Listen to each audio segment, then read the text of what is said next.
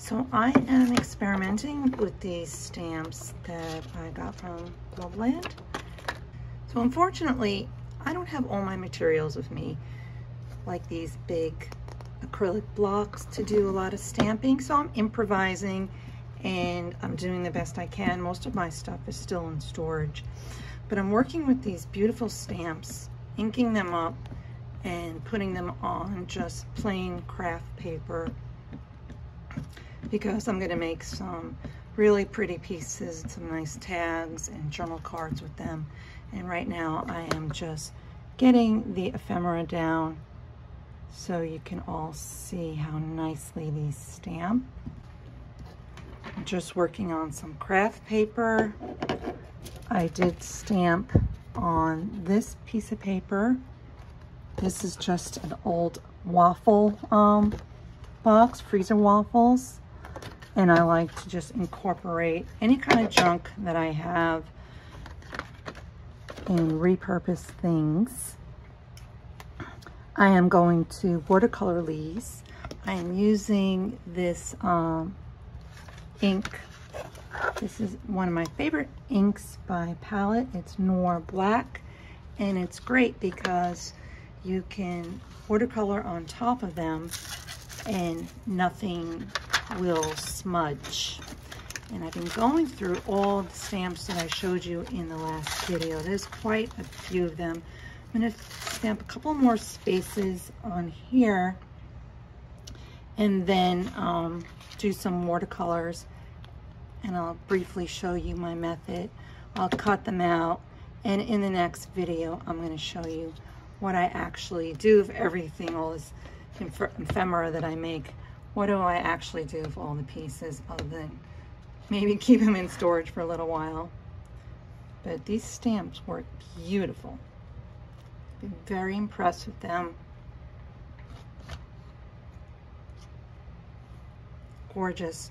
I haven't tried these stamps yet. Let's do a couple of these before I close out the video.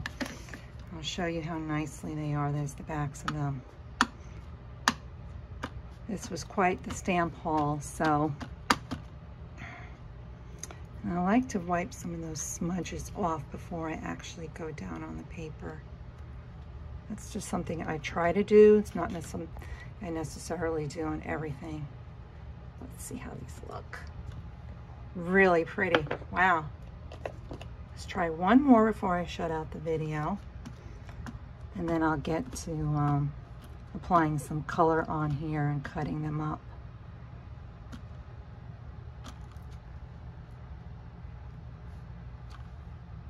Nice.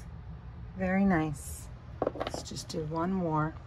My uh, son is holding the camera for me and he's doing such a great job. I do have to improvise in the space that I'm in. I don't have a studio or even a craft room. I just work in the corner of a room. These stamps are very impressive. I am actually loving this set. We'll do one more because I do a couple more because I see some space over here. Let me just focus right in there. And get a couple more of these because these are absolutely really nice. None of the, well, a little bit of the border showed up there. So that is the stat, the, all the stamps I got from Globleland. It is hard to actually show you everything, but this is the first part of the process of getting everything down on the paper. These were the, um, from that large sheet of tickets and old invoices, and this is from the other set. Okay, guys, I will color these up and show you the end product, and then we'll go to the next video when I show you what I do with them. I'm gonna go ahead and stamp up this set just to show you what it looks like. I um, thought these stamps were pretty decent. I, I like the quality of this stamp better, but this was definitely decent. You know, stamping, it does show some of the edges, which, you know, you can get rid of or you can keep it in. It just depends. But I think the quality is very nice. It's very subtle and it's definitely a really cute set to have. And I actually found that the stamp, this one, then it's over to the side more, stamps the best because I'm only gonna try to ink up that side. And I really like that one. That's That one's my favorite. They're all really nice. It's definitely a good set to have in your collection and I'm not disappointed with.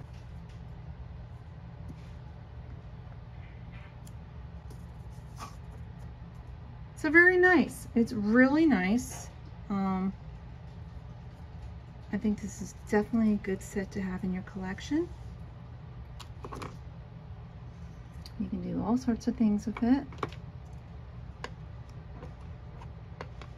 And then I will show you how I, my next video, what am I going to do with all this stuff, right? what am I going to do? I don't know. Question of the day. So I've been playing around with the stamps and this set right here is one of my favorites.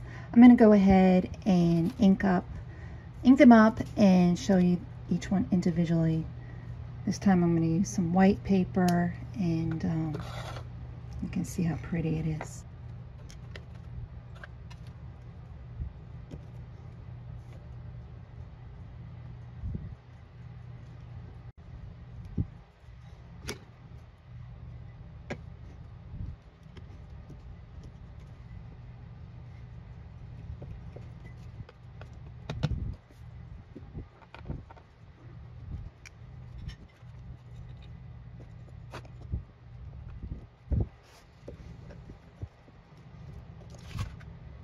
So I showed you how I stamp it. I, I sped it up, but this is the finished product.